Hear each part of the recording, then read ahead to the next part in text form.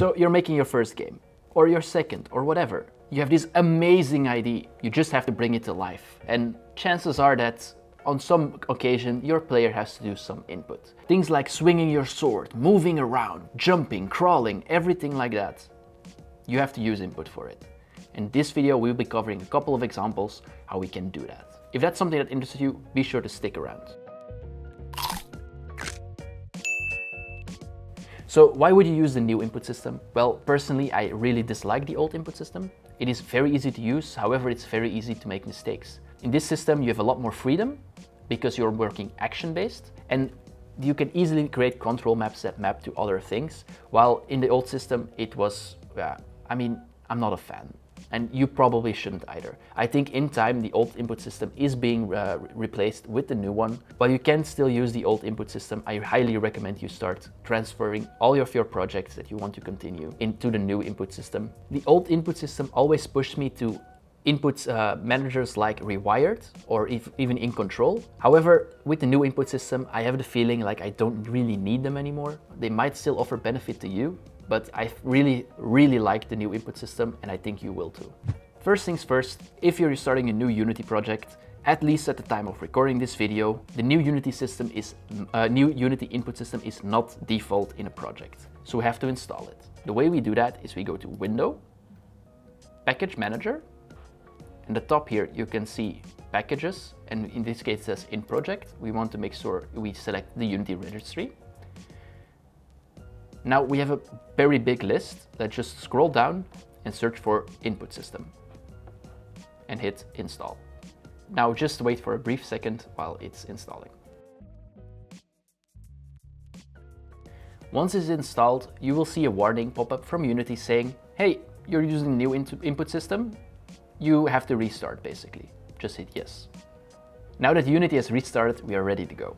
I set up a basic scene where we basically have a little player right here on the screen, our little blue dot that we are going to move around. A couple of things that we need for this is, first of all, we need to detect input.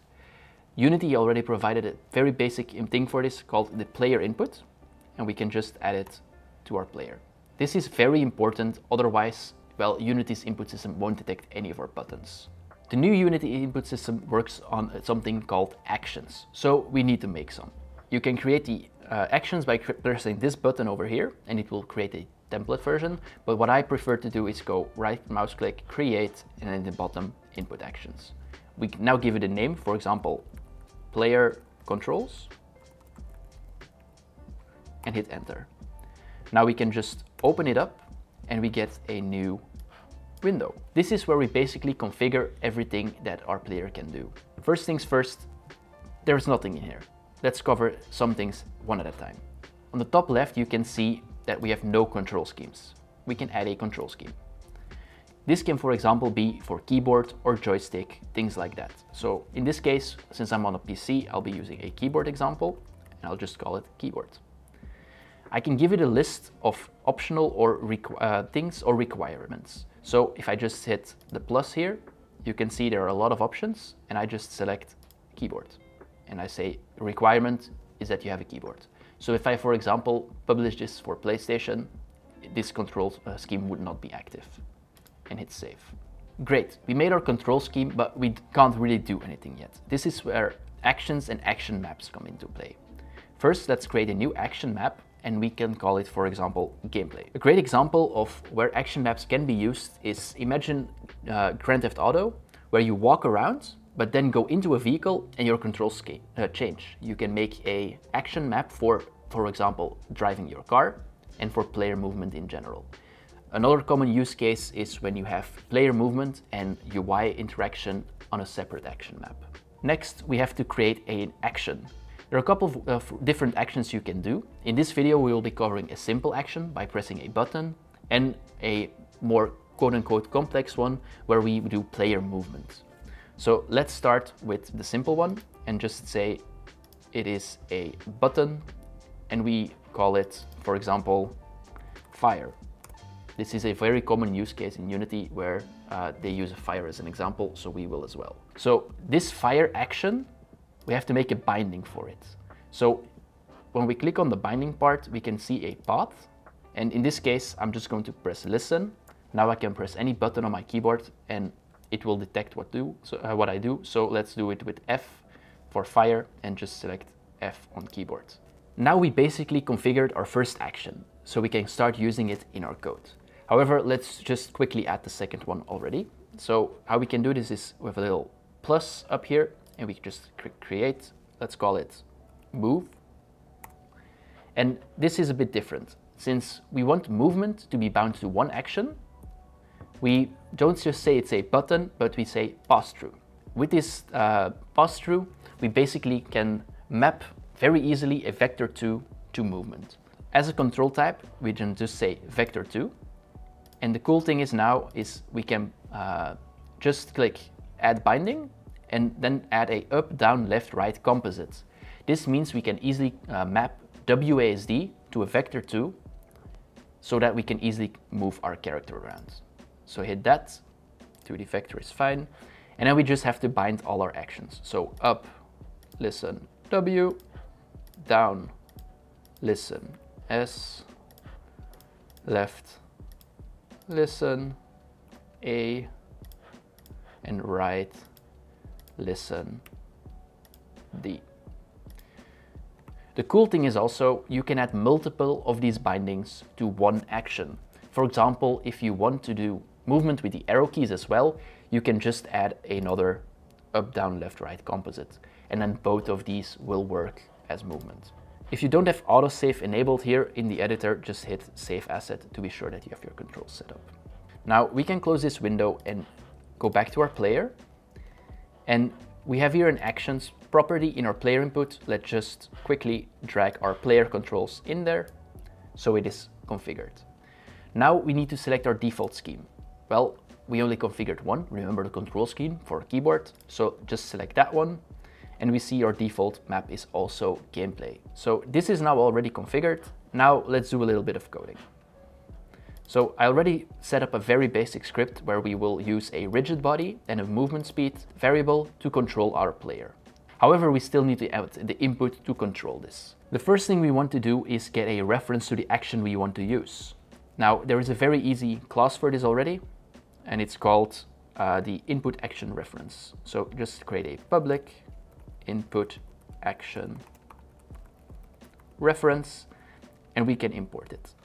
As you can see, Rider automatically filled in using Unity engine.input system. Depending on your editor, you might need to add this uh, import yourself. So this input action reference, let's call it move, since that's the first one we will be doing. Now, how do we check this, uh, the value of a vector2 composite? Well, we can, for example, in our update, just say, hey, our movement direction equals, and then say our move action dot action because we want we have a reference and we want to access the thing itself dot read value what value are we going to read? That's right, a vector2, like we discussed earlier, and that's it. Now, every update we will see what button is being pressed. If it's a move action, we will put it in our move direction and we can apply it. After that, we, you can see I already added some code to move the character around using a rigid body. Now let's set it up in Unity. So let's go to our player and we add our little script and it is our player movement script. So you can see we need a couple of things. First of all, we need a rigid body 2D for the movement. So let's add that real quick, drag it in there. We can give it a movement speed. Let's just say five in this example. And then we need our reference. So you can see here, uh, if we open it up here, you can see we have our gameplay fire and our gameplay move actions. So let's just drag our move in the move slot. Hit save. And if we run the game now, we should basically be able to move the character around. So you can see we can move it around and the input is working. Great. Now, we also added the other thing, remember the fire. So what will we do with this one? Well, let's go back to our script copy and paste another input reference and call it fire. Now, something different about a button is we basically use C-sharp events to listen when we want to fire. So how I usually do this is we have our lifecycle event for the onEnable. So in this onEnable, we are going to add a C-sharp event so we know whenever it's triggered. So we just do fire dot action dot. There are also other lifecycle events for this. If you want a more detailed explanation on that one, do let us know in the comments. And then we can just add a listener to it and call it fire, for example. Now, this is a method basically that you want to call. However, it doesn't exist yet, so let's just create our method. Important here is we take in a input action callback uh, context. This is something Unity requires to basically do it. In this example, let's just do a debug.log to say that we fired. However, we basically start listening to this event the moment the game object becomes enabled. Great. It is very important, however, that you also stop listening when you disable it, because every time you re-enable it, it will add a new one. So to do this, it's uh, just on disable. To disable this action, once again, when we disable the game object, we just say fire.action.started and then minus equals and then our fire method. It is very important, like I said, to do this because otherwise, if you uh, disable your game object, enable it again, press one button, you will fire twice. Now we've set this up, let's go back to Unity. And you can see we have a second input action reference here. So let's just copy it right in here and we see our fire input action has been bound. Hit save real quick. So if we start Unity now, you can see that we can still move around. But if we now press F, we are spamming fire in the console every time we press it. And this is a very basic setup of how the input system can be used. Now, if you want a more deep dive into the input system or if any specific things like you want to see like action rebinding, for example, letting the player configure which key he should press for the fire action, do let us know in the comments. I hope you learned something and that you can now add input to your game so you can basically bind everything you want. The fire we used here can easily be your spacebar key to jump and things like that. So if you like the video, do make sure to hit the like button. And if you like this kind of content, just hit that subscribe button because we do make content like this twice a week.